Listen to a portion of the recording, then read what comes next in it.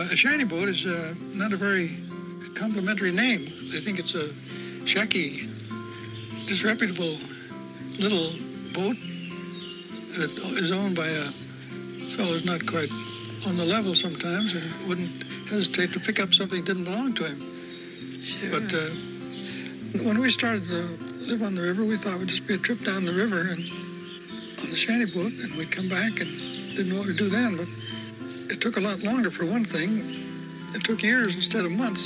Four years before we got to New Orleans, after we started, wasn't it? Yeah. And then we never did come back to what we were before because we it changed us, it influenced us from the very beginning. And finally, we got realized that we never could come back and live in town again, live a conventional life.